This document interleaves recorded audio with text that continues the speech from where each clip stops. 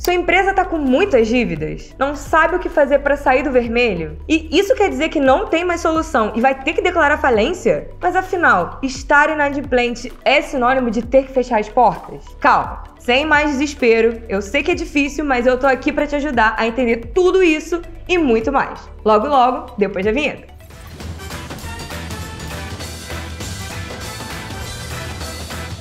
Oi, eu sou a Amanda e o PJ de hoje é sobre um tema que ninguém gosta de falar, mas é necessário: dívidas e falência. É lógico que eu não quero que isso aconteça com o seu negócio, mas todo bom empreendedor precisa entender sobre esses dois temas para caso um dia seja necessário, poder contornar tudo da melhor forma possível. Sim, conversas chatas às vezes são necessárias. Então, precisamos começar falando que, infelizmente, a gestão financeira é um dos grandes desafios na vida de quase todo empreendedor. Afinal, são muitos pratinhos para equilibrar que vão muito além de um mês de venda ruim. Vamos entender melhor quais são as principais causas que podem levar uma empresa a ficar no vermelho? Primeiro, são problemas externos macroeconômicos, como um alto índice de desemprego e a alta inflação, que são situações em que as pessoas controlam mais os seus gastos pessoais e tendem a comprar menos, o que afeta negativamente os negócios e reduz os lucros. 2. Problemas operacionais como problemas na manutenção de estoque, quebra de algum maquinário, falta de funcionários ou problemas com a transportadora e fornecedores que atrasam e podem atrapalhar o fluxo de produção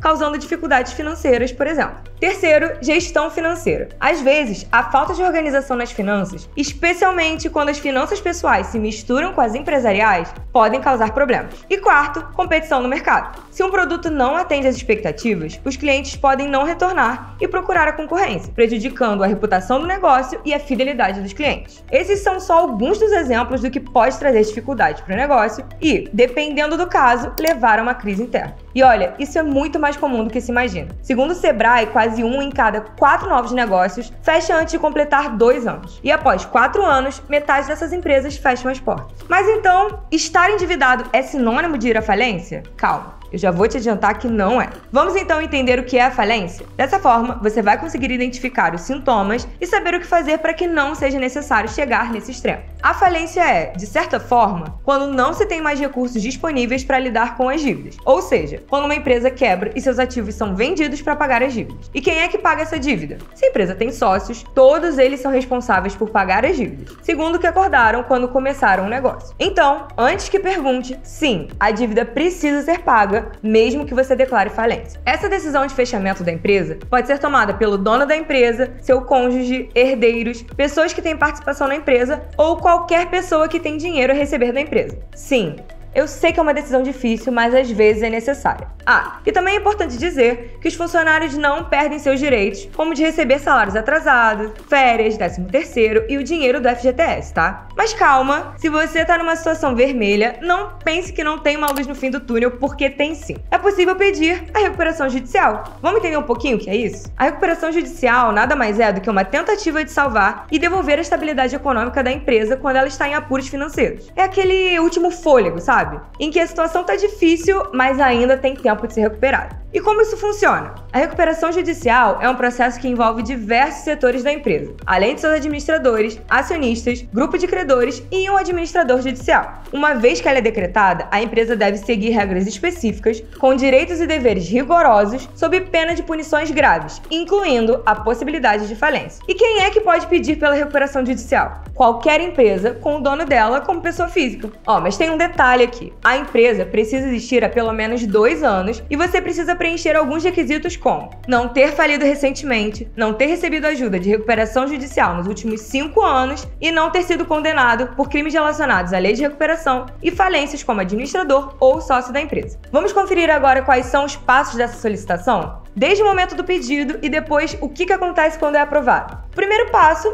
é o pedido da recuperação. Aqui, a empresa apresenta sua situação financeira ao tribunal local, incluindo documentos que mostrem a necessidade de ajuda. O juiz pode suspender cobranças e notificar as autoridades fiscais se o pedido for aceito. Depois disso, o juiz nomeia um administrador imparcial, geralmente um advogado, para gerenciar a empresa durante o processo. Esse administrador lida com as informações dos credores, convoca assembleias e toma medidas legais quando necessário. Na Na sequência, é feito o plano de recuperação. A empresa tem 60 dias para criar um plano de pagamento de dívida. Os credores são pagos de acordo com as regras estabelecidas por lei. Mas, antes, precisa ter aprovação do plano. Sim, os credores precisam estar de acordo. E se eles não tiverem, tem até 30 dias para apresentar as objeções. Depois de estar tudo aprovado, vem de fato a execução do plano. Aqui, a empresa tem que seguir tudo certinho do que foi combinado, porque senão a falência pode ser decretada. Aqui, eu não quero nem que você precise pensar na recuperação judicial e muito menos na falência, mesmo já sabendo como funciona. Eu quero que você consiga sair do vermelho sem chegar nesses dois extremos. Por isso, vamos pensar junto aqui como lidar com as dívidas? Vamos criar aqui uma espécie de manual de sobrevivência? Beleza, bora lá. Lembrando que não existe uma fórmula mágica para todas as empresas endividadas, é claro, mas existem algumas opções que o empresário pode considerar, tá bom? Você pode analisar os seus fornecedores, negociar dívida, reduzir despesas, aumentar as vendas e priorizar o pagamento das dívidas mais urgentes. Vou listar agora um pouquinho melhor esses pontos. Primeiro de tudo é: refaça o seu planejamento e descubra a origem do tamanho da sua dívida.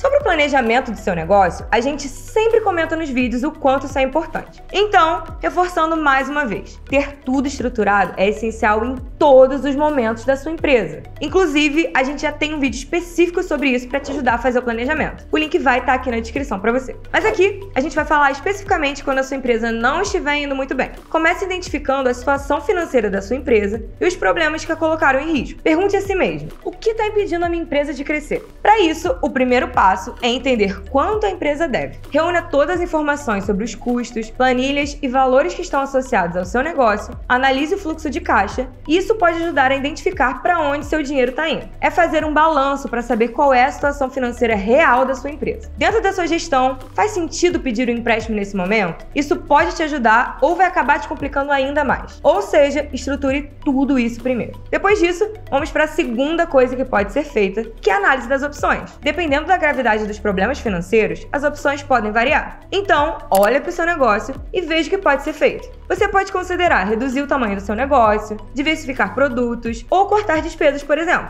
A terceira coisa que você pode fazer para organizar suas dívidas é reestruturar elas. Como assim? Uma das maiores preocupações é a falta de recursos para cumprir com as obrigações financeiras. Por isso, pegue um papel e uma caneta e organize as suas dívidas em uma lista. Priorize aquelas que são as mais críticas e urgentes, como salários e pagar os fornecedores, e garanta que essas serão as primeiras a serem quitadas. Veja também quais dívidas podem ser renegociadas ou adiadas. Se você tiver um empréstimo no banco, considere conversar com a instituição sobre o que pode ser feito. Afinal, ela também quer receber então vale ter aquela conversa. Outra possibilidade é de fazer uma portabilidade para conseguir melhores taxas e prazos. Bom, esses aqui são os três passos gerais do que pode ser feito para contornar uma crise. A gente já tem um vídeo com mais oito dicas muito bem detalhadas sobre esses e alguns outros passos do que pode ser feito para te ajudar a gerir melhor o endividamento da sua empresa e tirar ela do vermelho. Eu vou deixar o link aqui na descrição para você conferir depois. Agora, depois da nossa conversa aqui, eu espero muito que caso sua empresa esteja passando por um sufoco, a gente tenha te ajudado a enxergar uma luz no fim do túnel e entender que estar endividado não é sinal de falência. A gente torce muito para que o seu negócio continue decolando e rendendo bons frutos. O episódio de hoje vai ficando por aqui, mas tem vídeo novo toda semana. Se curtiu, deixe seu like porque ajuda muito a gente a chegar em outras pessoas. E se você quer aprender mais sobre essa jornada que é empreender, é só se inscrever no canal e ativar o sininho. Eu vou ficando por aqui e até semana que vem. Tchau, tchau!